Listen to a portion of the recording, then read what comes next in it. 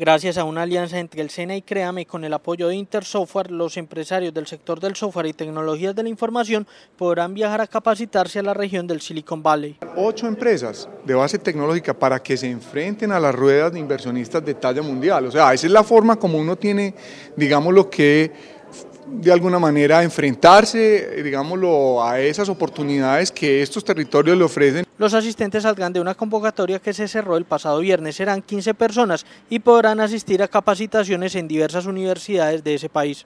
Se va a hacer un proceso de selección muy exigente porque son empresas que tienen que cumplir con unos requisitos de talla mundial para poderlos uno presentar con algún grado, digámoslo, de confianza frente a las mejores ruedas de inversionistas del mundo. Entonces tienen que cumplir unos requisitos.